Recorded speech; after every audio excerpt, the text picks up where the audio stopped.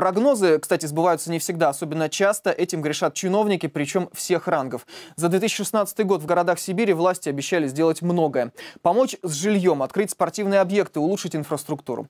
Елизавета Василевич расскажет, что обещали людям в Томске, Омске и Кемерове и почему не исполнили.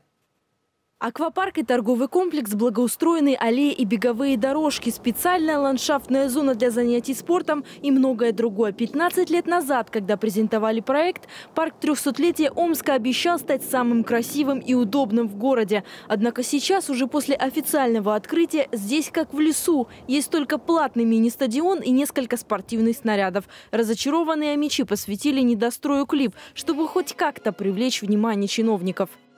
Я иду в этот парк, которого нет. Где легко найти того, что вовсе нет? Где легко угробить свой велосипед в итоге об Омске в очередной раз заговорили на федеральном уровне. Заместитель министра строительства России Андрей Чибис сообщил, что парк возьмут на контроль. Впрочем, некоторые чиновники считают, что с парком все в порядке, и он значительно преобразился.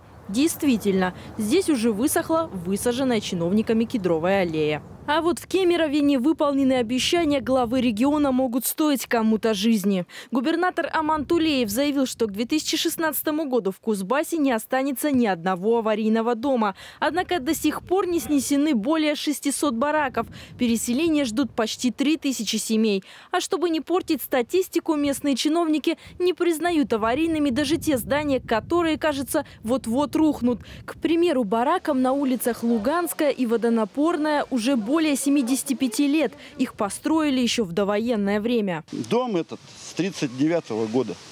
Я здесь жил с 79-го. Здесь ремонты никогда вот штукатурили бы, чтобы... Вот это заштукатурили, мне было лет 9, а сейчас мне 44 уже будет год.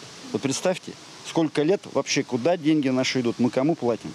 Ну а в Томске не могут завершить реконструкцию подпорной стенки набережной вдоль одной из главных улиц города – проспекта Ленина. Хотя губернатор Сергей Жвачкин сообщал, что ремонт идет без задержек. Но при этом сроки сдачи переносились шесть раз. Строительство планировали закончить весной, потом осенью. При этом в сентябре стройку заморозили из-за неожиданно обнаруженных археологических находок. Чиновники, наученные горьким опытом, уже и не ставят четких сроков. Формулировки туман Анны, 2017 год.